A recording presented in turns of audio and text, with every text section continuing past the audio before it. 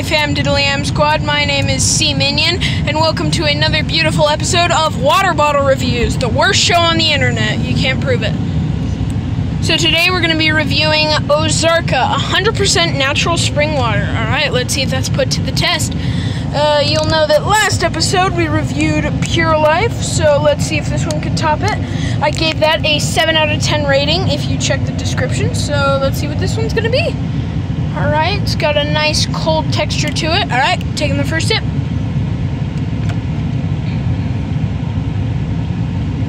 Um, it's pretty clear. Like, I don't really taste very much, so...